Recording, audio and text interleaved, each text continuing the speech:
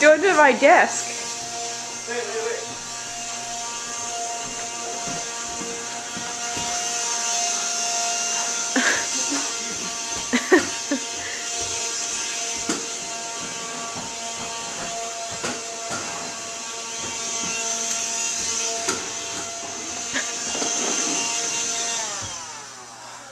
Okay, I'm done.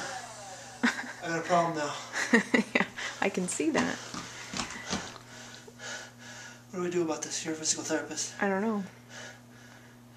I think you have a back problem that should have been taken care of long ago. Time and I'm gonna vacuum you.